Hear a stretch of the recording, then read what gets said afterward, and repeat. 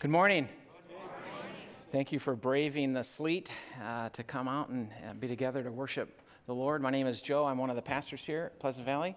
Very exciting uh, news these days at Pleasant Valley that not only did we say yes to Chad, he actually responded and says, okay, uh, that he will join us. Isn't that good? That's awesome.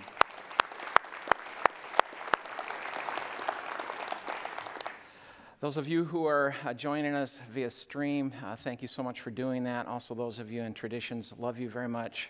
Uh, glad you're part of our life and uh, the life of this church. Um, we're going to continue on in the book of Hebrews. And so, before we do anything else, I'd like you to stand, and I'm going to read Hebrews chapter 11, verses 20 through 40. If you want to look that up on your Bible underneath your seat or your phone, or you could certainly read along. Um, on the screen behind me. Several times in this chapter, 40 verses, it has this phrase, by faith, by faith, by faith, by faith. I think maybe the Holy Spirit wants us to think what it means uh, by faith. And so we're going to talk about that a little bit. So let's listen to the rest of Hebrews chapter 11, beginning at verse 20. By faith, Isaac invoked future blessings on Jacob and Esau. By faith, Jacob, when dying, blessed each of the sons of Joseph, bowing in worship over the head of his staff. By faith, Joseph, at the end of his life, made mention of the exodus of the Israelites and gave directions concerning his bones. By faith, Moses, when he was born, was hidden for three months by his parents because they saw that the child was beautiful and they were not afraid of the king's edict. By faith, Moses, when he was grown up, refused to be called the son of Pharaoh's daughter, choosing rather to be mistreated with the people of God than to enjoy the fleeting pleasures of sin. He considered the reproach of Christ greater wealth than the treasures of Egypt, for he was looking to the reward. By faith, he left Egypt, not being afraid of the anger of the king, for he endured as seeing him who is invisible. By faith, he kept the Passover and sprinkled the blood so that the destroyer of the firstborn might not touch them. By faith, the people crossed the Red Sea as on dry land, but the Egyptians, when they attempted to do the same, were drowned. By faith, the walls of Jericho fell down after they had been encircled for seven days. By faith, Rahab, the prostitute, did not perish with those who were disobedient, because she had given a friendly welcome to the spies. And what more shall I say? For time would fail me to tell of Gideon, Barak, Samson, Jephthah, of David and Samuel, Samuel and the prophets, who through faith conquered kingdoms, um, enforced justice, obtained promises, stopped the mouths of lions, quenched the power of fire, escaped the uh, edge of the sword, were made strong out of weakness, became mighty in war, put foreign armies to flight. Women received back their dead by resurrection. Some were tortured, refusing to accept release so that they might rise again to a better life. Others were stoned, they were sawn in two. Others, I'm sorry, others suffered mocking and flogging and even chains and imprisonment. They were stoned, stoned, they were sawn in two, they were killed with a sword. They went about in skins in skins of sheep and goats, destitute, afflicted, mistreated, of whom the world was not worthy, wandering about in deserts and mountains and in dens and caves of the earth. And all these, though commended through their faith, did not receive what was promised, since God had provided something better for us, that apart from us, they should not be made perfect. Father, we all recognize our humanity. We recognize, Father, that apart from something greater than ourselves coming and giving us insight and strength and perseverance, uh, we simply cannot live the type of life that our souls want to live. And thanks be to God, Father, you have given to us Jesus Christ, your Son, who has died, who's risen again, who has provided this thing called faith in you to bring about incredible amounts of grace, strength, so that we can live the life that we want to live, so that we can live the life that really honors you and reflects the glory of Jesus Christ. So we give you all the praise. We ask that you would help us in this time in your word uh, to take from it what your Holy Spirit has designed for us at this time in our, in our journey. And I pray, Father, that we would not only know what God's word says, but that we would follow through and do it. In the name of Christ, amen. You may be seated.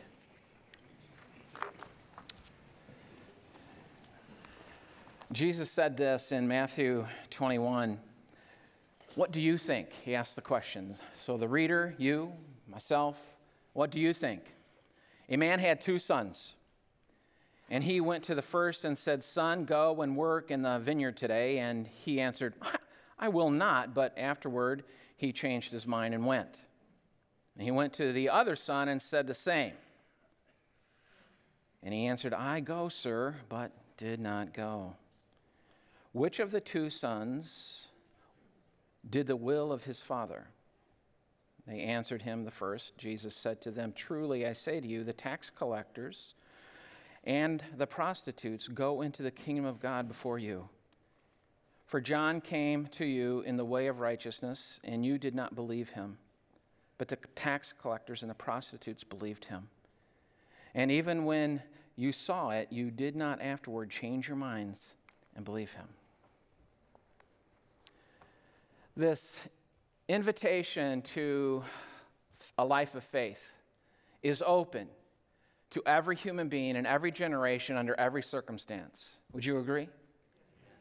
It is not for the spiritually elite. It's not for that particular culture that has a certain amount of enlightenment. It is not for uh, a culture or individuals in a culture that have been morally strong and robust. It's for every human soul. And it kind of causes every one of us to be humble before Him. Recognize that apart from Him, there's no hope. And so, this phrase, by faith, is so important. It changes everything for the human soul and the human walk. And, and so, I commend you once again to God's Word this morning as we think about what it means uh, for you and for me to be people that live by faith. The question I want to answer this morning is but what kind of faith is referred to here? What kind of faith? Um, before I get in any further into the message, I want to highlight a passage out of First Kings, and I think uh, Todd, you have that First King. I'm sorry, not First Kings, Jeremiah chapter uh, 32. This is what this is what the Lord says. I will make with them an everlasting covenant that I will not turn away from doing good to them. I will rejoice in doing good to them. We have a God in heaven who is on the edge of his seat, on the edge of heaven, as it were, wanting to bless your socks off. A God that is leaning into the human race and uh, that possesses a heart that says, I want you to trust me. I want you to deeply believe that I care about you, that you matter to me. And so we get to rehearse historically those people that responded to the call of God, lean into the human race by faith. But what kind of faith? We see in this Jeremiah passage, God wants to be kind. He, it says he endures. He never runs out of this steam. He always is working and wanting to bless and to be, and to be good. That's the word used to be good to you, to be good to me. And so the reason I'm prefacing the rest of what I'm going to say is because there's going to be a point in time when I talk about a certain kind of faith that isn't the kind of faith that God is looking for, okay? So I, I needed to say that in case later you're like, oh, when we talk about the kind of faith that God does not respond to. Okay? So you're, you're warned. All right. Let's, let's uh, look at, uh, th- so there's a kind of faith that matters. It matters to God. It's very important that it matters to you and to me, right? Would you say that? It's not just enough for me to say, well, I believe. and then go on with your life, there is a type of belief, a type of faith, a kind of faith that the Bible teaches about that is so significant that the human soul and mind and, and, and uh, volition uh, walks into.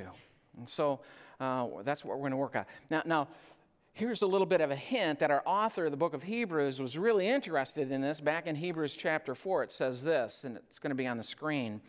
Therefore, while the promise of entering his rest still stands, God is leaning over, he wants to give you his peace, his rest. Let us fear lest any of you should seem to have failed to reach it. Right away, we understand that there's a, there can be a type of faith that it fails to reach and to experience and to access God and all of his promises. Verse 2 in Hebrews chapter 4 says this For good news came to us just as to them, but the message they heard did not benefit them because they were not united by faith with those who listened. Whew. So there are two kinds of faith there is a faith that works, and there is a faith that is dead. Jesus told the Pharisees, Your faith is dead. It's all about dead works. You're trying to live a life that you've learned from the scripture that frankly was not from the scripture. It's dead. And so that should, and, and even in this Hebrews 4 passage, it says we need to have some fear and even some trembling here as it relates to is my faith, as theologians call it, efficacious? Is, is it effective? Is it real? Is it what God is looking for or not? Would you agree this is an important issue? And so that's why Hebrews 11 says, by faith, by faith, by faith. There's example after example after example. And so that's what we're going to work on together. Well, what kind of faith? And then back now into Hebrews chapter 11, verse 2, it says this. I'm going to actually read in verses 1 and 2. Now, faith is the assurance of things hoped for, the conviction of things not seen. Now, verse 2 For by it the people of old received their commendation. They received their praise from God. They received their well done from God. The commendation. This kind of faith the kind of faith that is assured of the things hoped for. These people received a commendation from God. So that also tells me that there is a condemnation from God. Would you agree?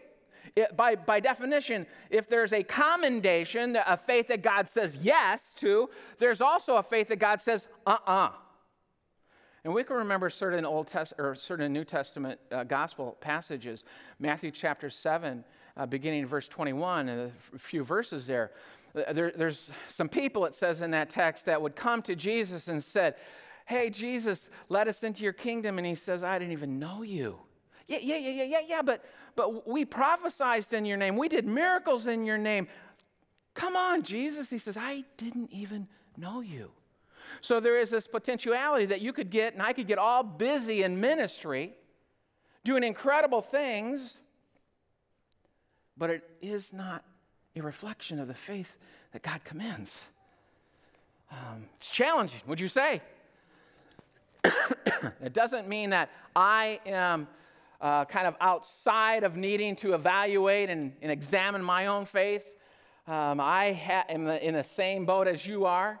Uh, because I have education and experience and all sorts of ministry time does not make it true that my faith is effective. There's something else uh, that is of greater value to God than even being a pastor. What are you laughing about, Joyce? Yeah. Oh, come on. You know how special we are on the pastoral staff. Yeah, thank you, Joy. I know I can count on you. Yeah. Jane, you make really good banana bread, by the way. Thank you. there is a faith that God praises and a faith that is dead before God. There's a faith that God says, Well done, and there's a faith that says, I didn't even know you. Whew. Do you get the tension? I want you to feel the tension of Scripture on this. It's necessary to get authentic and serious about our relationship with God and our connection to God, which is called a connection by faith. But there's a faith that is good and there's a faith that is not good. It's a faith that works, it's a faith that doesn't work. Okay, have I made my point? I will start all over. Are you with me? On this side, I have not heard any affirmations. All right, we'll just go over here and say this all over again. Uh, all right, yeah, you're kind of over there, so that'll count. Thank Jane, uh, Jan for that one. Okay. Faith that God does not commend. We're going to work on that for just a few moments. The kind of faith that God says, uh uh-uh, uh, to. Not well done, to. Is a faith focused on God's goodness to me. This is not something that God says, you got it. But this is a temptation for us believers. Would you agree? I, so so it, it has a condition on our side of the relationship to it, doesn't it? If you're good to me in the way that I think you should be good to me, then I'll trust you. It's a me focused faith, and that is not the kind of faith. Now remember, God in Jeremiah says he's committed to our goodness. He never stops wanting to be good to us. But there is a type of faith that is focused on me that is not the kind of faith that God says, Well done, Joe. I get it, I understand it because God does want to be good to me and He's proven Himself over and over again, but it is not the kind of faith that gets things done in the kingdom of God. It is not the kind of faith that gets the attention of God. It is not the kind of faith that you want to have. And most of us in this room, uh, if you're like me, have played with that one. Um, the next one. Another kind of faith that God does not commend or praise or say well done to is biblical doctrine and creeds, a, a, a faith that's, that's focused on biblical doctrine and creeds. Now, this one also is, we're su- subject to, would you say, in Christendom, especially in our vein of Christendom, we hold high the Bible. We hold high the authority of Scripture. We hold high uh, systematic theology uh, premise. And so we, we are also subject to this kind of faith. But this kind of faith uh, is the kind of faith that Jesus got after more than any other kind of faith that doesn't work. And it's the kind of faith that the Pharisees had. The Sadducees, the Pharisees, the biblical scholars in the first century uh, were a target of Jesus Christ because their faith was not this efficacious kind of faith. It was not kind, the kind of faith God was looking for. It was a faith that was all about being right. Anybody ever had a, a, an issue in your life, or maybe people have tried to communicate with you? You just want to be right all the time? you, you don't, no, nobody has ever said that to you?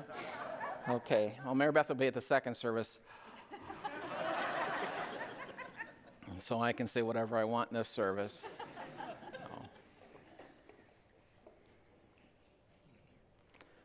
Pastors are really, really, really um, vulnerable to this kind of faith because we're supposed to be answer people.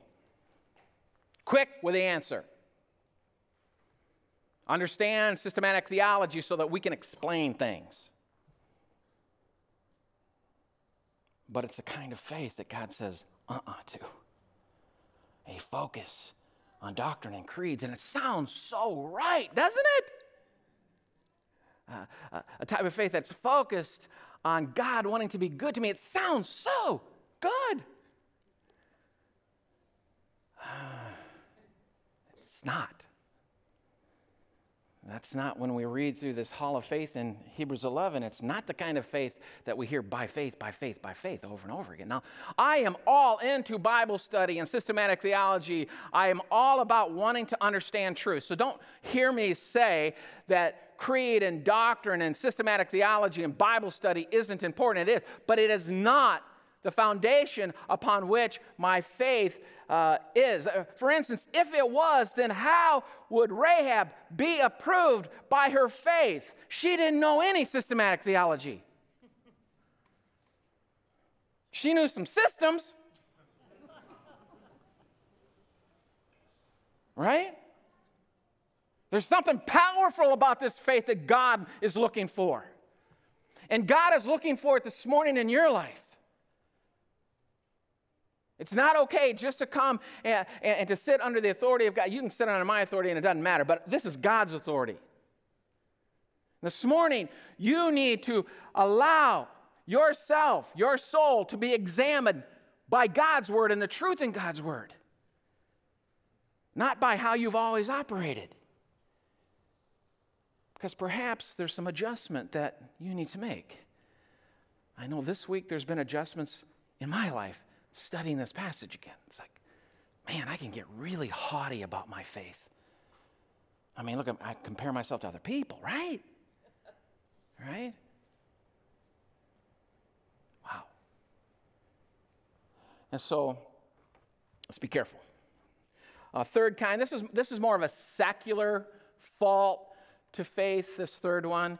It's called the blind leap. It's a focus on a blind leap. It's kind of a haphazard uh, way to approach spirituality. Um, eh, you know, I don't really want to study that much. I don't really want to think that deep. I don't really want to wait and listen to the Lord and uh, hear His word and respond to that. I just want to take a, a leap of faith, right? Uh, this is not the kind of faith God is looking for. Your faith, my faith, is built on good doctrine. It's not all about doctrine, but it's built on good teaching. It's built on understanding what the scripture says, okay? All right. Fourth kind of faith, perhaps there's probably others, but these are the four that I chose to at least highlight for you this morning. Faith that God does not commend, number four, is personal reflection, a self generated type of a faith. It comes from transcendental medita- meditation. That used to be hot in the 60s and 70s. Now, those of you uh, who are younger, like, huh? Um, it is more new age ish today. It is a, um, a, an unhinged from any authority outside of a person. They're not looking for any outside um, direction or parameters within which to think. It's all generated from inside, right? It's a personal reflection. I, I think this is how it should be. And so it is. Maybe that's not a good kind of faith, right? And, and, we laugh about that, but I tell you, there are sometimes we're like, we can do the same thing. We can do what, what we call eisegesis of the scripture. We can read what we want the scriptures to say right? So don't be, we have to be careful here because um, we can do any of these four. And there's, there's certainly more. Well, what kind of faith does God commend?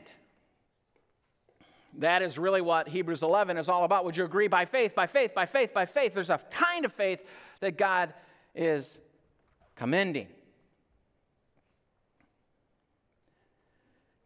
I want to give us I want to give you a definition of faith as I think about it in Hebrews chapter 11. Faith is a confident action in response to what God says. Faith is a confident, that's a Hebrews chapter 12, verse 1 word.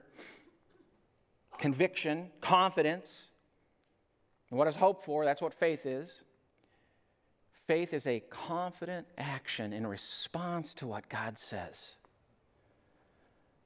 probably better definitions, but that's the one I'm working on this morning. So, a question you can ask by way of evaluation before we even talk about these six types of faith that we learn about in Hebrews 11 is Is that true with you? Are, are you a man? Are you a woman? Are you a child that is all about confidently having confident action in response to what God says to you?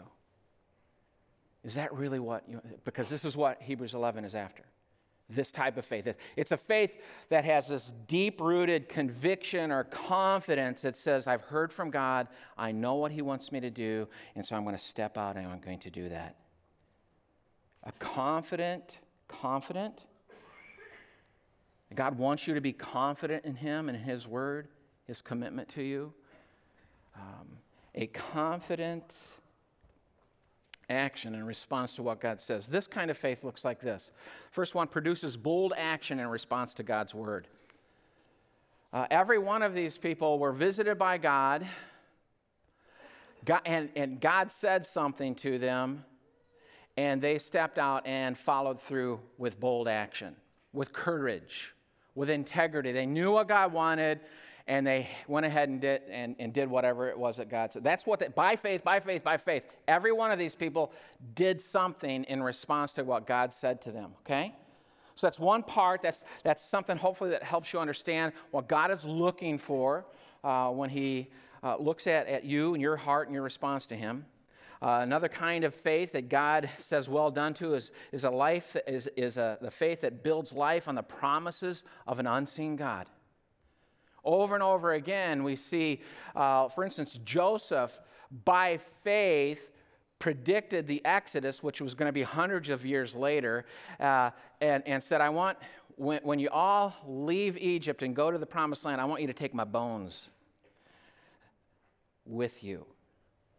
This, this was hundreds of years then before they were released. Um, uh, so it's a crazy thing to say. I mean, they, they didn't even know uh, that they were going to leave Egypt. Right? It's crazy. It's just kind of lobbed right in there. But that's the type of faith that the Lord says, Well done, Joseph. Uh, well, that's simple. Oh, I think we're going to find over and over again. It's, it's really simple. The problem is it's not easy. Right?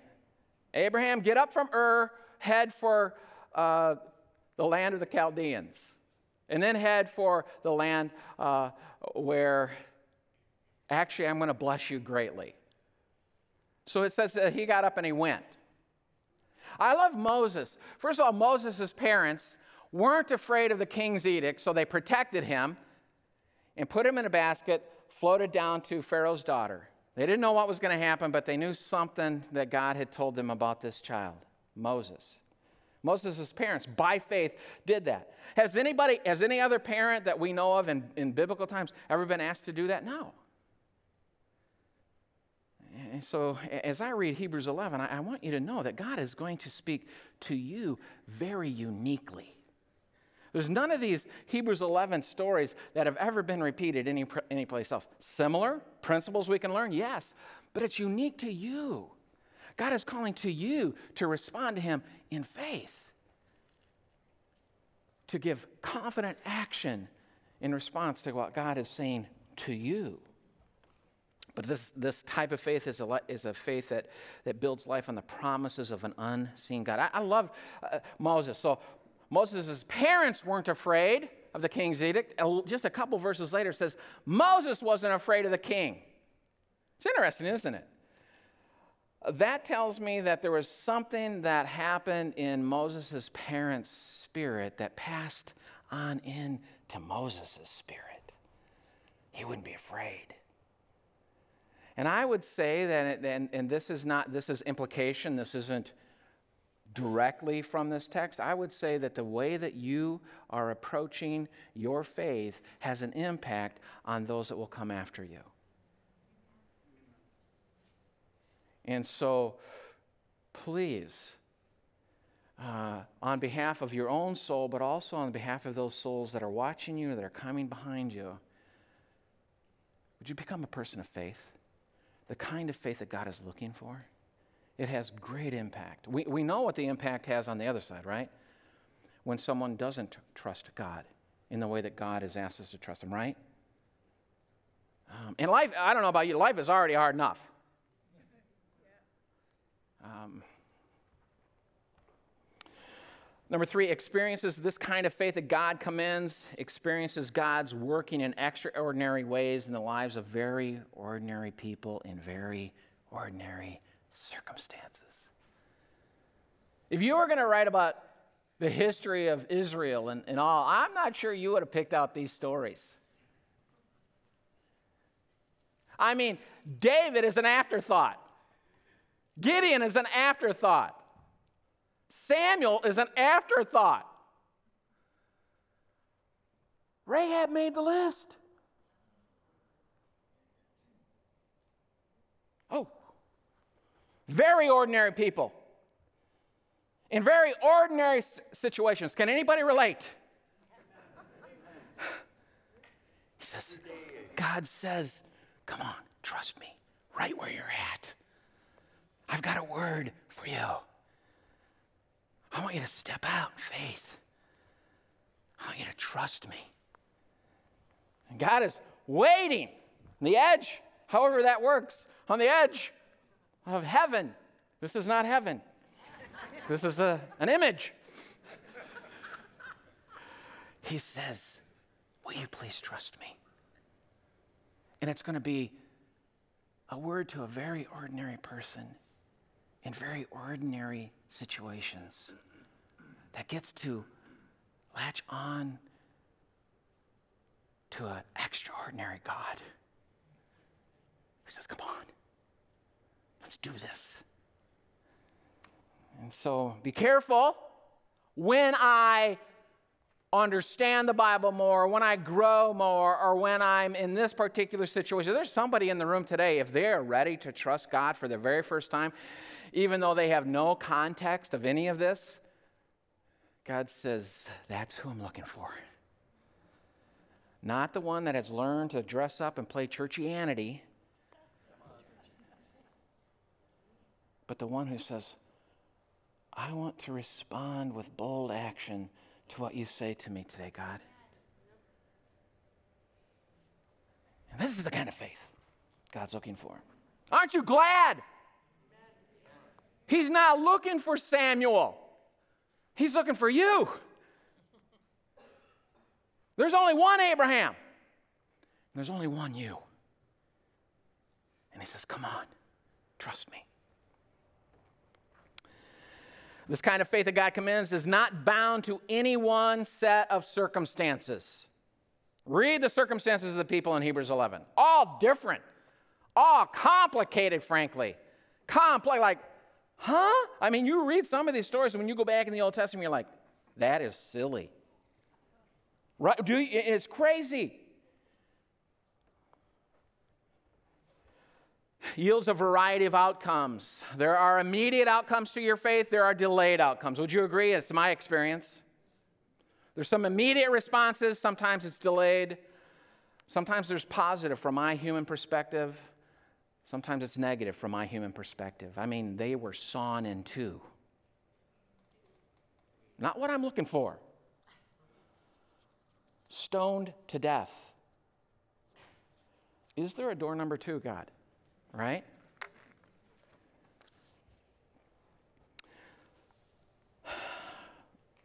And this is the kind of faith that God rewards.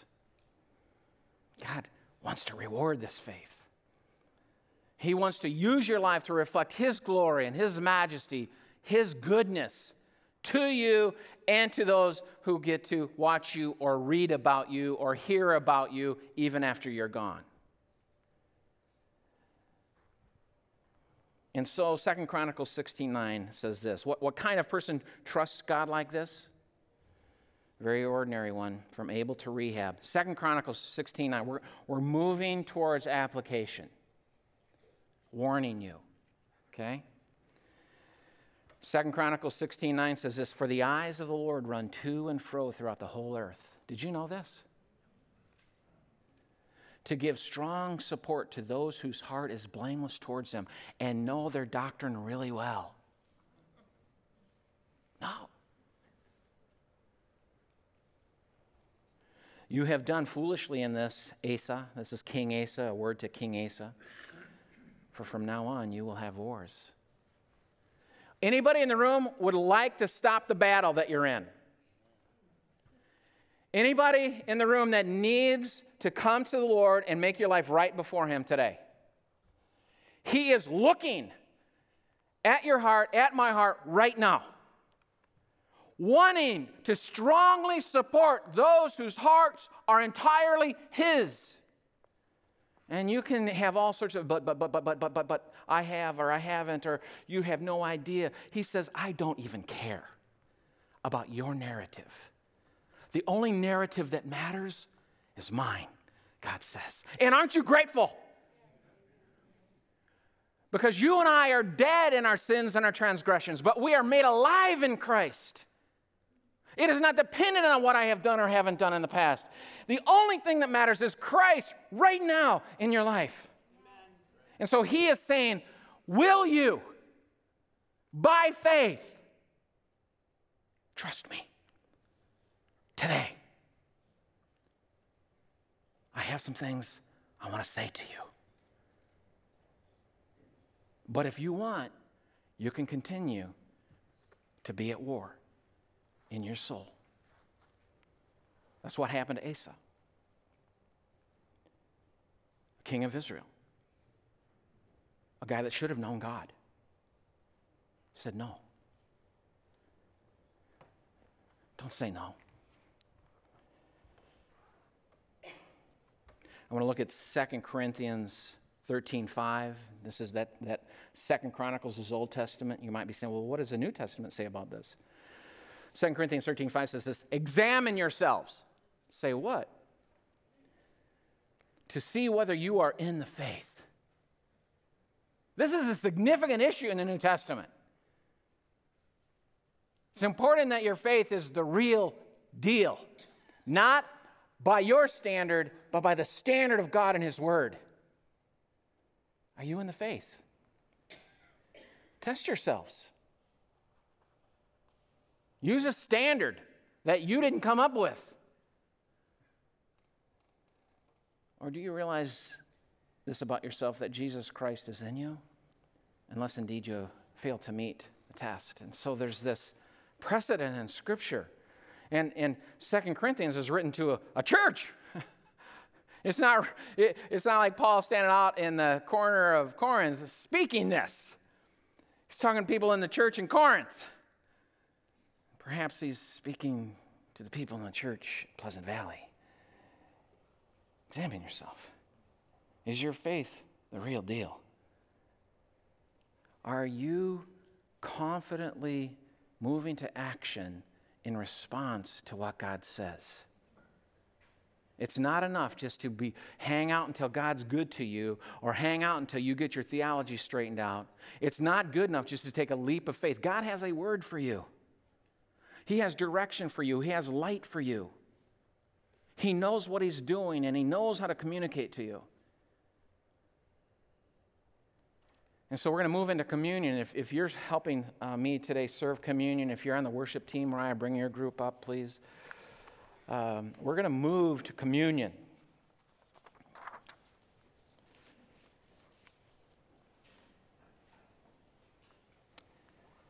Now, there's a passage in, a, in one of the communion texts text in the New Testament that I want to highlight, kind of getting us ready for. And this is a great opportunity if, you're, if you are like me. Uh, communion is a great opportunity to, to kind of slow the train down, kind of lean into the Lord, and not partake this in an unworthy way. Would you agree? It's a great opportunity. Now, this, this table, this cup, and this bread is open to you if you're a believer in Jesus Christ. And if this morning you are saying, God, I, I, I don't want to take this in an unworthy manner, I, I want to lean in, listen to you. So, so listen to the text in 1 Corinthians 11. This is the last part of it. Whoever therefore eats the bread and drinks the cup of the Lord in an unworthy manner will be guilty concerning the body and the blood of the Lord. That's a heavy statement. Would you agree? Let a person say the next word. Oh, I will preach the whole message over. Are you with me or not? You think I can't see you back there? I'm going to start over, verse 28. Let a person, I heard nothing over here. Let a person examine himself or herself then, and so eat the bread and drink the cup. For anyone who eats and drinks without discerning the body eats and drinks judgment on himself. Discerning the body is referring here specifically to the body of Christ. Do you realize what he's done for you and me? He's paved the way to a relationship with God. This is not something just to kind of think, oh, it's just, a kind of a church thing we do. You're proclaiming that you believe that he, gave his body for you and he spilt his blood for you. Discern the body. That is why many of you are weak and ill, and some have died. Say, what? Is this significant? Must be. But if we judged ourselves truly, examine yourself, be discerning, we would not be judged. God is inviting you to, by your own volition, come into the light and say, God, I need you. My life apart from you, quite frankly, is a sinful mess. I'm selfish, I'm lazy, I'm lustful, but here I am, God. I want you. And thanks be to God, you want me. And so uh, this is an open communion table. But if this morning is the time that you need to get your life right with God and you, you know it isn't, you know that you have maybe just been playing around with your faith, you can do that right where you're at. Say, Christ, I, I need you, I want you. And maybe you've been a believer for a long time, but you've drifted away. Just make your, right, make your life right with God. His eyes are moving to and fro throughout this room to see whose heart he might strongly support. You just let him have it this morning? Let him have your heart. Say, God, I, I don't care what it is that you say to me. I want to boldly respond with action to what you say to me. So the communion for those of you that this is new for, the piece of bread that you will take represents the broken body of Jesus Christ given for you. The cup, the juice, represents the blood of Jesus Christ shed for you to cover you, to cover your past, your present, your future iniquity, transgressions, and sins. God is leaning into you and He wants a relationship with you that is real, that has a faith that He says, Well done to.